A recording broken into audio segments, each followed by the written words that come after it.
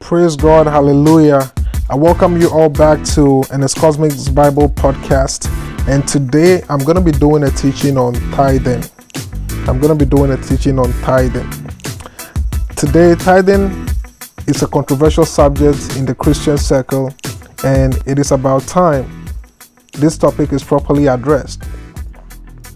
Should tithing be a controversial topic among new covenant believers? No, because the Bible is very clear on the subject. So today I'm going to show you some Bible passages that answers the question is tithing under the new covenant. And to get started with, I would like us to read from Malachi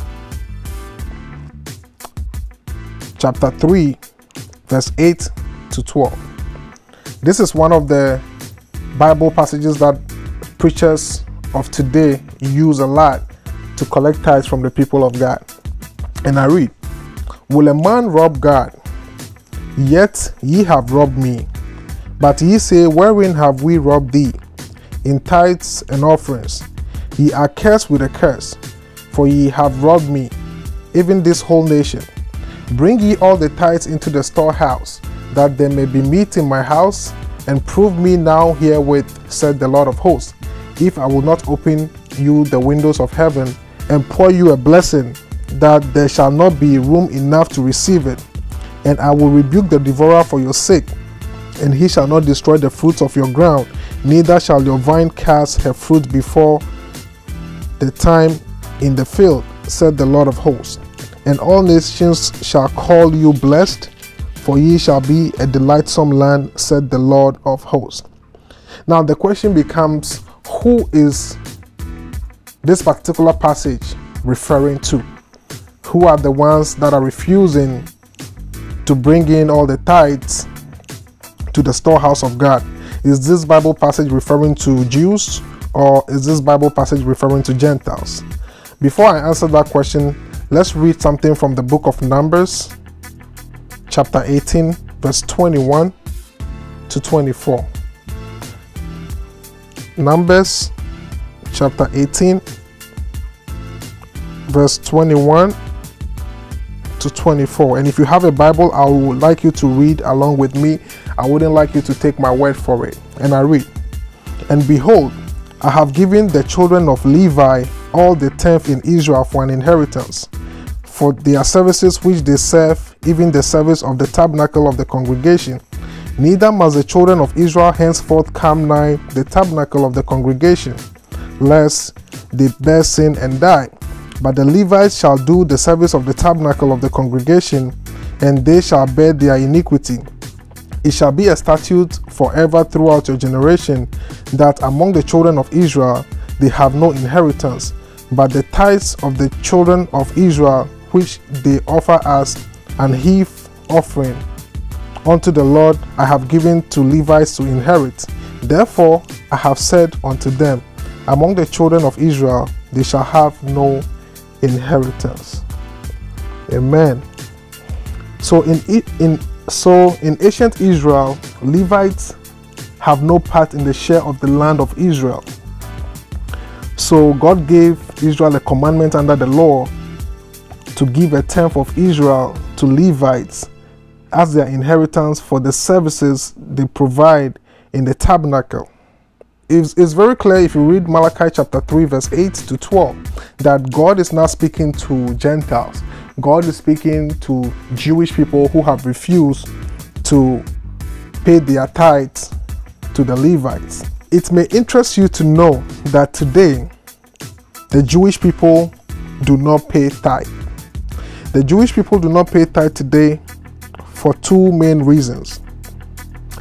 One is that there is no working Levitical priesthood currently in service. The second reason why the Jewish people don't pay tithes today is because there is no standing temple in Israel where the tithe can be brought properly. And if you study Jewish history, you know that the first temple and second temple were both destroyed. The first temple was destroyed by the Babylonians in 586 BCE BCE simply means before Common Era. And according to some Jewish historians, they believe that the temple was destroyed in 425 BCE. The second temple before it was destroyed was known as Herod's temple. It was destroyed by the Romans in 70 CE. CE simply means common era during the siege of Jerusalem. So the question is if the Jewish people of today don't pay tithe, why are Christians paying tithe? If people who have been given the law to tithes to the Levites are not paying tithes because one, there is no working Levitical priesthood currently in service today, and two, there is no standing temple in Israel where the tithes can be brought properly, then why are Christians paying tithe? Don't take my word for it. Go to YouTube and type in why Jews do not pay tithe, and you would see rabbis that explain to you why Jews of today do not pay tithe. So now the question becomes if Jews don't pay tithes, how do they fund their synagogues? So in Jewish synagogues, there is a box in the back of the synagogue called the Tzedakah box, or in other words, charity box, and it is left to the individual when and how much they give. Nobody keeps records of who is giving and who hasn't been giving. Fundraising and membership dues are also other ways by which the Jewish synagogue fund their operations. So now, when it comes to the New Covenant Church, there is nowhere in the Bible, in the New Testament, where it says that Christians or Gentiles should pay tithes. Some pastors argue that Abraham paid tithe to Melchizedek before the law. And because Abraham paid tithe to Melchizedek before the law, that is why Christians are entitled to pay tithes. But let's look at what the Bible says in the book of Hebrew, chapter 7. And then I'll go back to the book of Genesis to show you in context what the scripture in Hebrews chapter 7 is referring to. So I read from Hebrews chapter 7, verse 1 to 2. For this Melchizedek, king of Salem, priest of the Most High God, who met Abraham returning from the slaughter of the kings and blessed him, to whom also Abraham gave a tenth part of all, first being by interpretation king of righteousness, and after that also king of Salem, which is king of peace. So a lot of New Testament preachers also uh, borrow this scripture here from Hebrews chapter 7, verse 1 to 2, to say that Abraham tithed before the law. And because Abraham tithed before the law, that is why Gentiles who are Christians today also have to tithe. If Abraham tithed before the law, it suggests to me that the tithe that Abraham gave to Melchizedek was a free will offering because he wasn't compelled to pay tithe to Melchizedek. Now, if Abraham paid tithe before the law, it means that what we read in Malachi chapter 3, verse 8 to 12, is not referring to Gentiles who do not pay their tithes because there are no consequences for giving to God voluntarily. So if I decide to pay 50% of my income to the church and I do that for three weeks and I don't do it anymore, there is no consequences that come with it because it's a free will offering. So if Abraham paid tithe to Melchizedek and that happened before the law, that means that Abraham wasn't compelled to do it. And in essence, it doesn't mean that Gentiles are to tithe. But for the sake of argument, let's go to the book of Genesis, chapter 14, verse 19 to 24, to see what actually happened. But before we look at that, I would like us to know that when God gave Abraham victory over the king of Elam on his way home, he met Melchizedek. And Melchizedek blessed him, and Abraham in turn gave him a tithe of all the spoil he had taken from the opposing armies. Much of it was the property of the kings of Sodom and Gomorrah, and that can be seen in Genesis chapter 14, verse 19 to 24. The tithe that the book of Hebrew is talking about that Abraham paid to Melchizedek wasn't out of his income, it was part of the goods that he, he recovered from the opposing armies that he defeated. He took a tenth of that and gave to Melchizedek. So it wasn't out of his income. However, let's read Genesis chapter 14, verse 19 to 24, and see what this uh, passage really means in context. So I read from Genesis 14, verse 19 to 24. Melchizedek blessed Abraham with this blessing Blessed be Abraham by God Most High, creator of heaven and earth, and blessed be God Most High, who has defeated your enemies for you. Then Abraham gave Melchizedek a tenth of all the goods he had recovered. The king of Sodom said to Abraham, Give back my people who were captured, but you may keep for yourself all the goods you have recovered. Abraham replied to the king of Sodom, I solemnly swear to the Lord God Most High, creator of heaven and earth, that I will not take so much as a single thread or sandal thong from what belongs to you.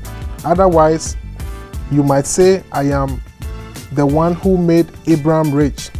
I will accept only what my young warriors have already eaten, and I request that you give a fair share of the goods to my allies, Aner, Eshcol, and Mamre. So here it is very clear what happened when Abraham defeated uh, the armies of Sodom and Gomorrah. We can see here that the tithe that Abraham gave to Melchizedek was part of the goods that he recovered from the armies of Sodom and Gomorrah. And after giving the tenth part to Melchizedek, whatever is left, he gave back to the king of Sodom. And you can see that in the verse 23 when he said that I will not take so much as a single thread or sandal tongue from what belongs to you. Otherwise, you might say, I am the one who made Abraham rich. So we see very here that Abraham did not even take the rest of the goods that he recovered from the kings. Uh, he gave everything back to them after he gave a tenth of the spoil to Melchizedek. So this does not suggest in any way that Gentiles today should pay tithe. So it is very clear that the tithe that Abraham gave did not come from his own income. It was also a one time incident recorded in the Hebrew scriptures, which is the Old Testament. This does not suggest in any way that New Covenant Christians should pay tithe. Now, if you look at the New Testament, there is nowhere in the New Testament that talks about Gentiles or Christians are to pay tithe. Paul used to be a Pharisee of Pharisees. But Paul, when he became a Christian, he never taught the New Covenant Church to pay tithes. What Paul wrote to Corinthians about giving can be seen in 2 Corinthians chapter 9, verse 7.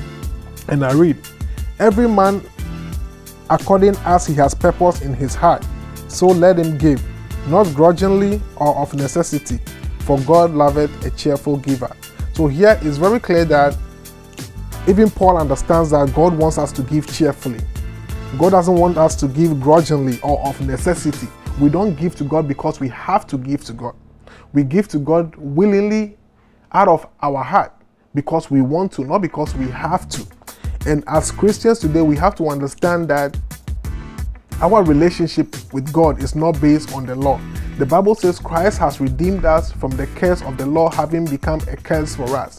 And today, under the new covenant, God is not looking for you to give him anything for him to bless you. And this is evident in the book of Romans, chapter 8, verse 32. And I read, He that spared not his own son, but delivered him up for us all, how shall he not with him also freely give us all things? If you don't catch that, I'm going to read it again. Romans 8, verse 32 says, he that spared not his own son, but delivered him up for us all, how shall he not with him also freely give us all things? So here is very clear in the book of Romans that if God gave us heaven's best, how shall he not freely give us all things? So it doesn't matter what you want in Christ, whether it's healing, whether it's financial blessing, whether it's peace of mind, Everything is available for free. God is not asking you to bring money before He blesses you. Whatever we've been hearing in, in, our, in our churches that you have to bring money for God to bless you is not according to the, the Word of God. It's not according to the Word of God. And we must not allow church doctrine to overrule the truth of the Word of God.